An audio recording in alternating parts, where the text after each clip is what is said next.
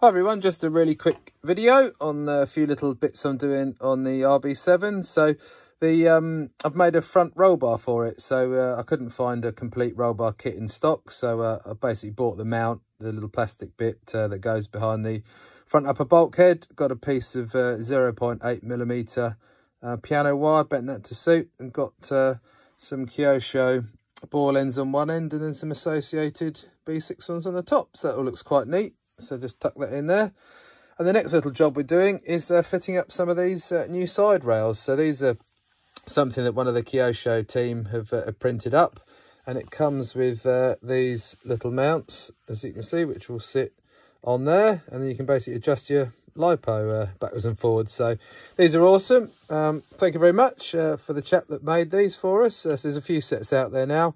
And we'll see how they fare. And it'll obviously do away with um, this kind of battery setup we've got at the moment with the kind of foam blocks and and and uh, this kind of battery strap and the clips etc and it'll obviously be nice and easy just to to move the lipo around and sort of neaten the car up and give it a bit of a kind of more modern look. So we've got all the other little bits and pieces here and the little battery tabs so we'll uh, just get these sanded um, as they've got a little sort of rough edge to them from the 3d printer then get them bolted up. And I'll sort of show you as we go through the process Right, so we just uh, removed all the uh, battery, battery strap, all that stuff.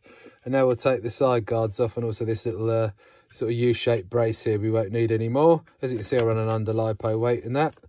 Um, so yeah, okay, we'll just get the uh, get all these plastic bits unbolted and get uh, this side on. I'll show you what it looks like. So that's uh, one side finished, as you can see. So that's that's bolted up really nicely. It's a great job on the design. The, the screws went in perfectly, so no cracking. And they've nipped up really nicely. And you can see there we've got the little tab, so we can uh, just flick that open to get the LiPo out. Pop it in, twist it round, job's done. And then uh, obviously we move it backwards and forwards as well. So that's, uh, you know, really cleaned up the, uh, the look of the car. So we'll uh, get the other side done now. I'll show it finished and we'll get the uh, wheels all back on it and the shell and we'll call that done for now. So there it is all finished up. So i've got the uh, other side mounted up as you can see.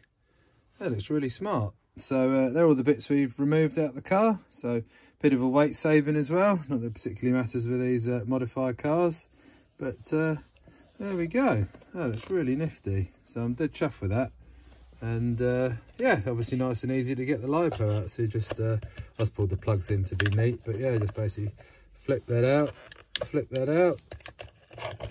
That comes a battery. Excellent design. So uh, well done to the man that designed it. I'm not going to say his name in case he has loads of people uh, wanting a set off of him but uh, hopefully he does uh, make some of these up because they're really really good and they fit really well.